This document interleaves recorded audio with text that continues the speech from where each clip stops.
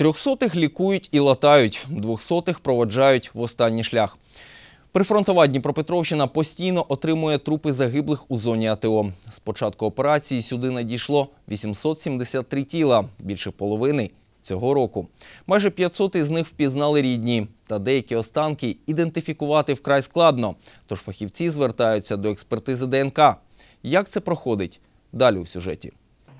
Для ідентифікації годиться різний матеріал, кажуть фахівці, та зазвичай при можливості беруть фрагменти кісткового мозоку. Матеріал проходить три стадії обробки. Они остаются в келе, гелем мы потом окрашиваем, и в виде вот этих окрашенных э, фрагментов, таких вот полосочек окрашенных, мы уже э, с помощью там, специальных маркеров определяем, э, сделаем, так сказать, что это, какие именно э, ну, аллели мы получили.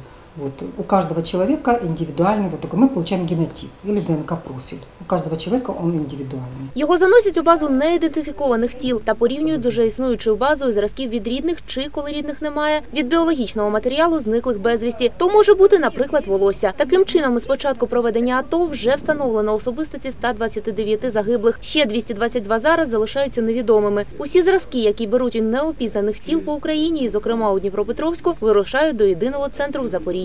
Каждый труп отдельно, каждый фрагмент отдельно описывается, э, составляется протокол, пишется направление или постановление.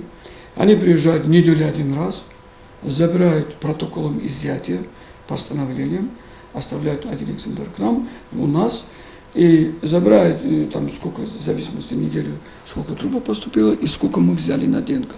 И возле Запорожья, НДКЦ. Із вересня минулого року неопізнані тіла, які перебувають у Дніпропетровську, почали ховати на Краснопольському кладовищі. Там знайшли тимчасовий притулок 173 загиблих, і 47 з того часу ідентифікували за аналізом ДНК. Більшість із них уже ексгумовані за проханням рідних та перепоховані. Практически каждый день в Днепропетровск поступают погибшие.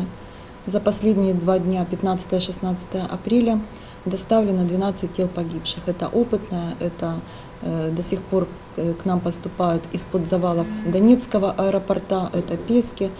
Э, Поступают как тела погибших, так и фрагменты тел, которых опять-таки визуально опознать невозможно, и их личности могут установлены только путем ДНК-экспертизы. Фахівці зазначають, із загальної кількості 33 аналізи ДНК не співпали ні з якими поданими матеріалами від рідних. Не усі ті, хто шукає зниклу людину, подають свої зразки та, можливо, ці загиблі із протилежного боку конфлікту. Алевтина Варава, Тарас Іванов, новини 9 каналу.